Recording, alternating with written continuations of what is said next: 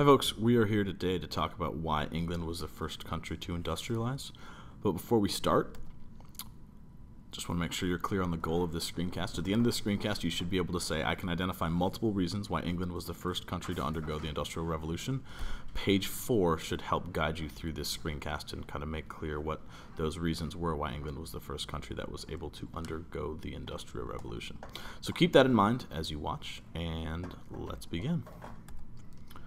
We need to define what industrialization is first, though. This is the process of machi machines producing goods England was the first country to ever to undergo this heavily this heavy turn to machines to create goods. So that is why we are talking about them today. Before we get started, though, the three natural resources that we're going to be talking about, we'll talk a little bit about coal, a little bit about iron ore, and a little bit about rivers and canals. These were the three important natural resources that allowed countries to industrialize. We'll start with coal. Coal was really important because it provided power for steam-driven machines. So after James Watt invented the steam engine, coal became incredibly important because that was used to create the steam that drove all of these steam-driven machines. Next up, we've got iron ore. Iron ore was used to make the machines, to make the tools, and to make the buildings that housed these factories during the Industrial Revolution. So it was integral to kind of the the creation of the places and the things that we're doing the making during the IR. Finally, we've got rivers and canals. Uh, this is a canal from the U.S. Sorry, not from England.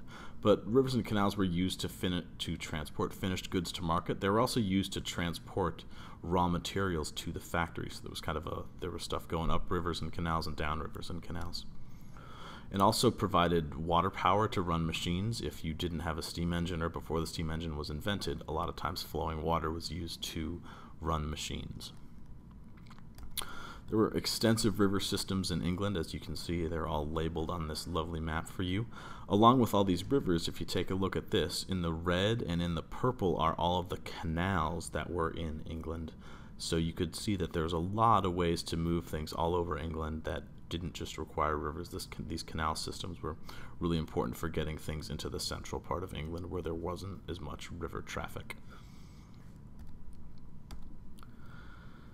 In England, there were also extensive coal fields. Uh, there's some arrows that are going to show you where they are, but also the gray areas that you can see on the map. There was a ton, a ton of coal in those spots. So this again helped drive all those steam-driven machines during the Industrial Revolution.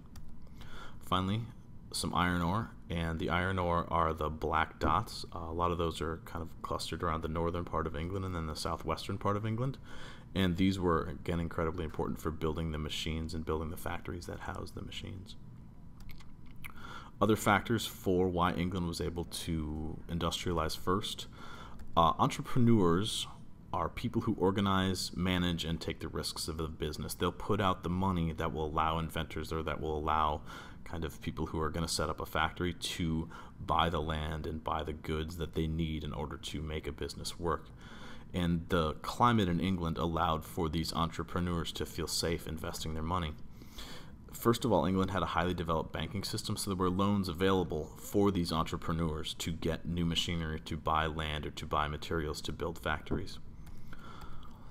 Also, there was political stability in England. England had been involved in wars, but all these wars were fought on continental Europe. They hadn't been fought on English soil. Also, after the Glorious Revolution in 1689, there weren't further revolutions in England, so it was a place where you had kind of a long standing democratic core of a government, and people trusted the government to do the right thing and to, to keep England safe and sound and not involved in all sorts of crazy foreign, or not, not involved in all sorts of crazy political instability.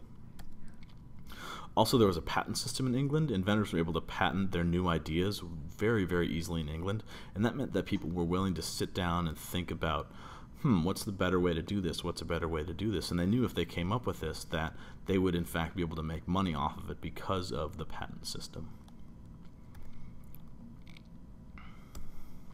So, you should be able to say now that you can identify multiple reasons why England was the first country to undergo the Industrial Revolution.